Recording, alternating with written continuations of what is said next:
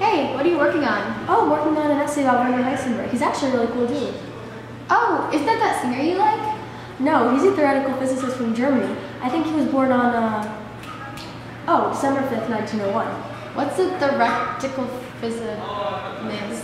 A theoretical physicist is someone who uses mathematical models and abstractions of physical objects and systems in order to explain and predict natu natural phenomena.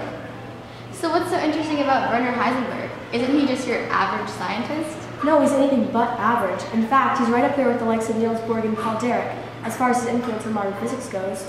Also, he attained many awards, including the Nobel Prize for Physics in 1932, for which he was chosen by Albert Einstein. Oh, he actually sounds pretty cool. I want to learn more.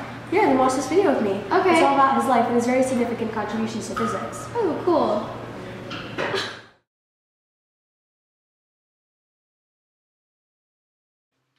Heisenberg attended the Ludwig Maximilians Universität Wien and the George August Universität of Göttingen, where he studied physics and mathematics from 1920 to 1923, the same year in which he earned his doctorate degree. In 1924, as the assistant of Max Born at the University of Göttingen, he earned the venia legendi at that university.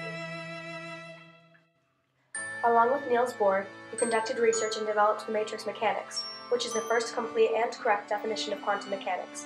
Also, the matrix model continued a Bohr model of atoms by describing how quantum jumps occur and by interpreting the physical properties of particles as matrices that develop over time. Another one of Heisenberg's important scientific discoveries is the uncertainty principle, which he initially described in a letter to Wolfgang Pauli in 1927. Quantum mechanics is weird, right? But did you know that some of its supposed peculiarities are not unique to quantum physics but are just properties of waves in general? Take the uncertainty principle. It says that the better we know where a particle is, the less we know about how fast it's going. There's a limit to how much we can know. But this isn't just quantum weirdness, it happens all the time with normal everyday waves. Remember that the frequency of a wave is how close the wave crests are to each other. A low frequency wave doesn't have nearly as much oomph as a high frequency one. And the position of a wave is, well, where the wave is, mostly. So where exactly is a wave? It's spread out everywhere, right? Okay, but for a wave pulse, it's pretty easy to see where the wave is.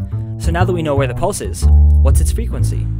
Well, a localized pulse doesn't really wave, so we can't measure the frequency of its crests. And that's the uncertainty principle in a nutshell. You can either know where a wave is or where it's going, but not both at the same time. The Deutsche Physik movement of the early 1930s was strongly anti Semitic and biased against theoretical physics, specifically quantum mechanics and the theory of relativity. When Adolf Hitler became Chancellor of Germany in 1933, some of Germany's leading theoretical physicists, including Heisenberg himself, felt like the movement's two most prominent supporters in particular, the Nobel laureates Philip Lenard and Johannes Stark, were ostracizing them. Heinrich Himmler, the head of the SS, became involved in what was called the Heisenberg Affair, calling him a white Jew which should be made to disappear. The dispute was eventually resolved when an editorial by Heisenberg and a letter to Himmler.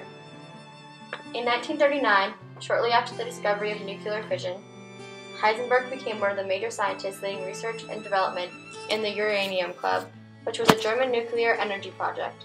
He traveled to German occupied Copenhagen in 1941 to lecture and discuss nuclear research and theoretical physics with the likes of Niels Bohr. In 1942, he was asked by the Nazi administration to direct the Uranium Club's research more toward developing nuclear weapons, and when Heisenberg was reluctant to do so, the authority of the project was changed. From 1945 to 1946, Heisenberg was captured and imprisoned in England for his questionable role in the war, along with other leading German scientists in the nuclear field under Operation Epsilon. Heisenberg's action in the war continues to be a heavily debated topic.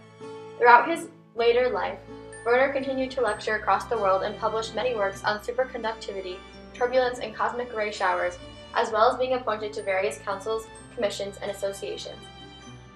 He also received numerous honors and awards, including the Max Planck Medal, the Matteucci Medal, the Niels Bohr International Gold Medal, and the Nobel Prize for Physics.